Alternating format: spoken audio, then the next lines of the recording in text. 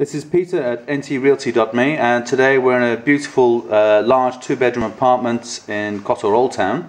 Uh, it's been recently renovated so uh, we're just looking here at the open plan living area.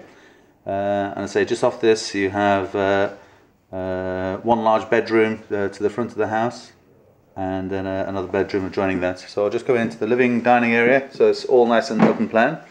As you can see these walls have been taken back and uh, repointed. So this was done, I think, in about 2007, 2008. Uh, so you see the old details. Uh, good sized kitchen. Plenty of worktop space. If you like me and you like cooking, then you like the worktop space to make a mess in. Anyway, so going back, there we are. There's the uh, the living room.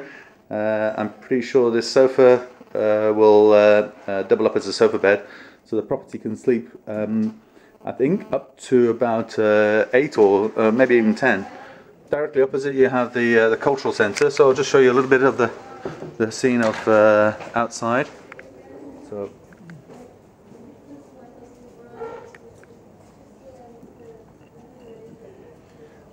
So this is near the uh, south gate. It's fully equipped, and I think that the uh, owners are uh, uh, open to negotiation, open to offers, including all the furniture, so it can be equipped and ready to move into. So here we are. This is the, the bedroom at the front of the house with a double bed and uh, bunk beds. So I was sleeping four here. Two nice big uh, bright windows here, and air conditioning units. And just going back to the living room, I'll show you the another air conditioning unit there too. And so that's it. That's the bedroom. And then this leads into another large bedroom, again with a double bed and two bunks.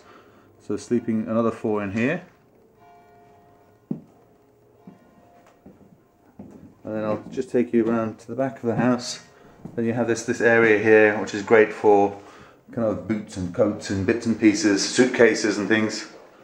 Uh, so it's everything's been done, as I say, so tiled or wood flooring. And then this is the bathroom. So a good sized bathroom, with a corner shower.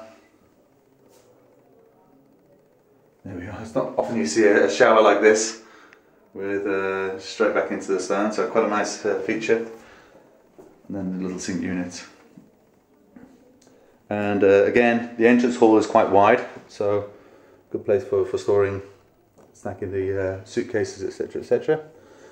So I'll finish on the shot here of the living room. So that's it. So this is a, a, a great size, uh, recently renovated uh, stone house in Kotor Old Town uh, for sale with ntrealty.me. Thank you for watching.